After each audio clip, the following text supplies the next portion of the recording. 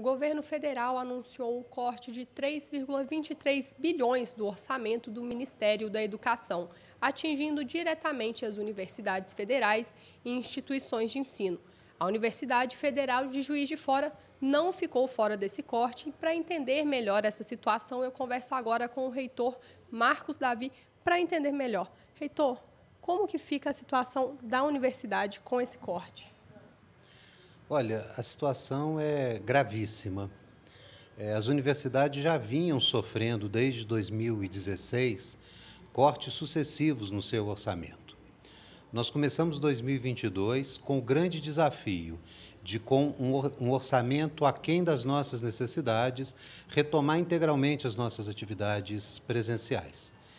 Se não bastasse esse complexo desafio, fomos surpreendidos na sexta-feira com o anúncio desse corte de 15% do nosso orçamento total do ano, o que implica impacto em todas as áreas. Nas áreas administrativas, pagamentos de tarifas públicas como energia, água, contratos terceirizados de segurança, de é, conservação e limpeza, de manutenção, e os projetos acadêmicos, as bolsas de iniciação científica, os fomentos aos laboratórios de pesquisa. Eles podem ser paralisados, as pesquisas, ou não? Não existe essa possibilidade? Olha, eu diria que o, o tamanho do corte, que no caso da Universidade Federal de Juiz de Fora implicou numa perda de mais de 30 milhões de reais, ameaça sim o funcionamento é, de todas as áreas da universidade.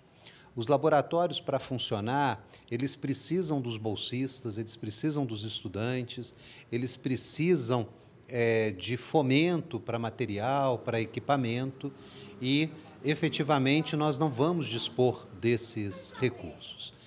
Isso é um grande paradoxo, porque exatamente no momento que as universidades mostraram a relevância delas é, neste enfrentamento da pandemia, com a pesquisa, com o conhecimento desenvolvido dentro das universidades, nós estamos, ao contrário de receber apoio, de receber incentivo, nós estamos recebendo cortes duros no nosso orçamento que praticamente inviabilizam as nossas operações. E já tem uma data para esses cortes começarem a serem de fato né, colocados em prática? Nós recebemos um comunicado na sexta-feira e na sexta-feira mesmo o nosso sistema financeiro já teve o bloqueio. Então, as disponibilidades orçamentárias já foram reduzidas nesse montante. E além de todos os prejuízos para a área acadêmica e para a área de funcionamento da universidade, até mesmo os recursos que são utilizados em assistência estudantil para apoio aos alunos de segmentos sociais mais vulneráveis também sofreu corte, o que pode ter uma consequência duríssima de inviabilizar a permanência destes alunos na universidade. Né? A, a interrupção de um sonho, de um segmento que conseguiu acesso à educação superior de qualidade e pode não ter condição de permanecer nas universidades. Então, corre o risco de alunos saírem da faculdade. É isso que o senhor está me falando aqui. Sim, porque se nós não revertermos o corte, os programas de assistência estudantil vão ser atingidos, ou seja, as bolsas vão ser reduzidas. E sem essas bolsas, os alunos não conseguem se manter na, na instituição.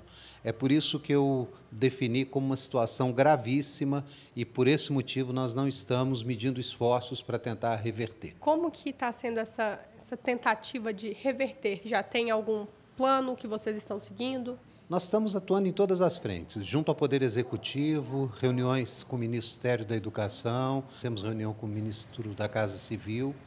É, no âmbito do Legislativo, nós estamos atuando junto aos parlamentares, mostrando a gravidade da situação e solicitando apoio na tentativa dessa reversão, talvez através do Congresso Nacional.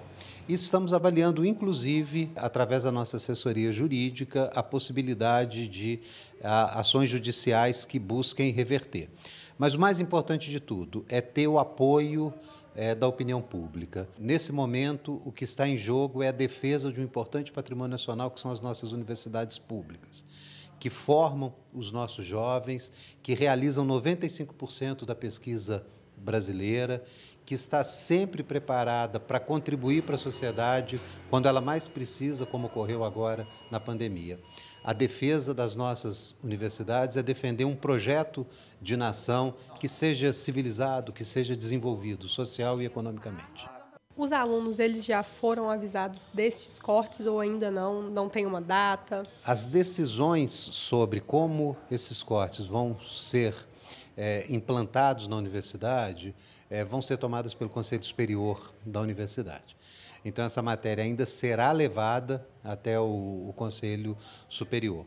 Como eu te falei, a, a medida de sexta-feira é, e antes também de tomarmos essas decisões, nós estamos nesse grande esforço de reversão da medida. Então, é, mas o próximo passo será certamente tratar desse assunto no Conselho Superior da Universidade. Foram pegos de surpresa, então? Sim, é uma desagradável surpresa é, no momento em que todo nós, todos os nossos esforços são para garantir o retorno das nossas atividades, garantir a qualidade das nossas instituições, garantir a relevância das nossas pesquisas. E sem orçamento, sem financiamento, se torna inviável. Sai lá, a está fechada porque não pode entrar.